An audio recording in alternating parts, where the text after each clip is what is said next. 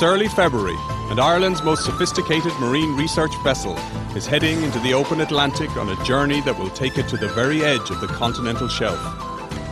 It's on a unique mission to carry out the very first detailed Irish survey of the extraordinary creatures that live in the eternal darkness of Ireland's deep ocean.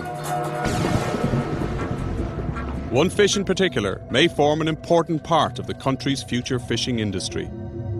Ireland, for the first time in its history, has both the manpower and the machine to carry out such a complex and challenging task.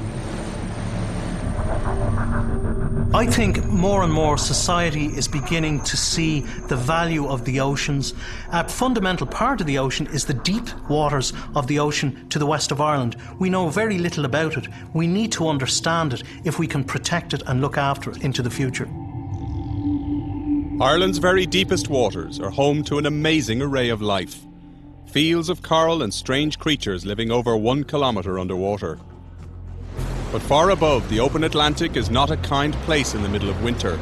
And this project will test the ship and her crew to the very limits.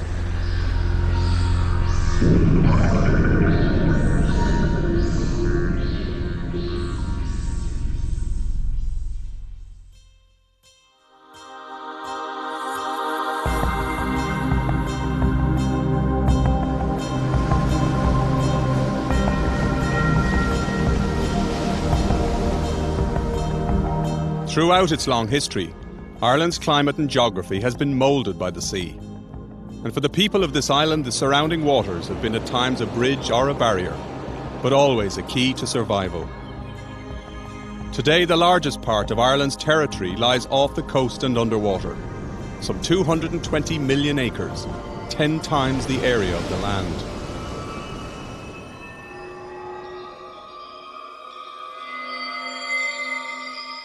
These waters are some of the most productive in the Atlantic, a vast undersea realm home to countless animals we know almost nothing about. We have some of the most important spawning areas, some of the most important nursery areas for fish stocks in the North Atlantic. It's up to us to protect that area. And it's not just in terms of fisheries, but it's in terms of protecting that environment so the future generations can look at it and know it's there and know it's not been disturbed and not been destroyed. For centuries, the only explorers of the deep waters off Ireland's coast have been the fishermen and women who pitch their skills against the sea to harvest a living. Today, Ireland's fishing industry generates half a billion euros a year and gives work to some 20,000 people, much of it in areas short on jobs and infrastructure.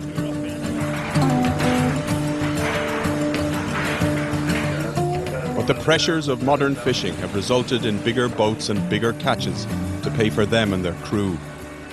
And fish stocks are suffering.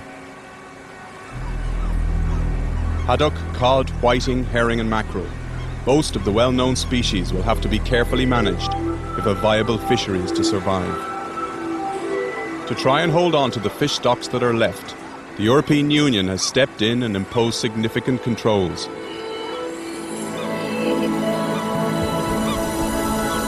And with Ireland's inshore waters already heavily fished, there's only one direction the fishing industry can go in their search for new species further out and further down.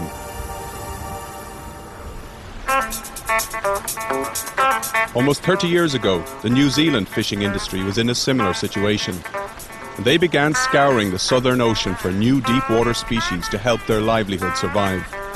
News began to filter out that they had indeed found something and the potential profits were very sizable indeed. Although the trawl nets that go down are enormous, large enough to totally enclose an articulated truck, they're often filled in minutes, sometimes just a few seconds. Anything up to 40 tonnes of fish dragged from the sea in a single haul. With bigger, safer boats, the Irish fishing fleet have also been searching further offshore. And in depths of almost 1500 metres, they too discovered orange roughy and other valuable deep-water fish. It's a very sort of oval fish. It's very thick. It's very um, bony on the exterior. But once you uh, get away these bones and the very tough um, skin, you have a really nice meat there. There is a huge amount of meat on the orange roughy. It is very good to eat. Um, it is prized culinary fish. orange roughy can live to be over 180 years of age. And if you think back, uh, those fish would have been born when Napoleon had just died. The orange roughy quickly became one of the world's most profitable catches. And in New Zealand, the new income was a blessing to a beleaguered industry. But after a few boom years, orange roughy catches began to fall dramatically and alarm bells started to ring. The orange roughy are particularly susceptible to being fished because part of their life cycle they aggregate on these big seamounts very deep down to spawn around this time of the year. So if you think of a commercial fishing vessel coming along, eh, lots of orange roughy aggregating to spawn once a year, they become very vulnerable to fishing. With bigger, safer boats, the Irish fishing fleet have also been searching further offshore. And in depths of almost 1500 metres, they too discovered orange roughy and other valuable deep water fish. And while Ireland's fishermen were keen to go hunting, the problem was how little information existed on the orange roughy where they live, where they breed, and how many are actually out there. If we want to fish them, let's know how many are there. Let's say how many you can safely harvest. To do that, we need to do very complicated and high technology acoustic surveys because they're so deep. But once we can answer the question, how many orange roughy are on these mounds, then we can say how many you can safely take from the stock, and then we can introduce a management plan for the industry. And so, for Ireland's North Atlantic waters, it became very clear there was a vital need for information about the orange roughy and the other deep water species that live so far beyond our shores. Something had to be done, and soon. Ireland's Marine Institute is the semi state body responsible for overseeing the development of the country's marine resources and providing the government and the people of Ireland with vital information about how best to manage them. I think it is really important for Ireland, because of the position we're in on the west coast of Europe, to take the lead in doing this type of research and giving the baseline science that will allow us to manage our oceans into the future. For almost three years, the Institute's been working hard on putting together Ireland's very first detailed survey of its deep water species and the alien world that is their home. Research in deep Atlantic waters is a difficult and often dangerous process. To be effective, the Institute must provide a secure scientific platform over 400 kilometres offshore, and then find ways of peering into depths of almost 2 kilometres and get results.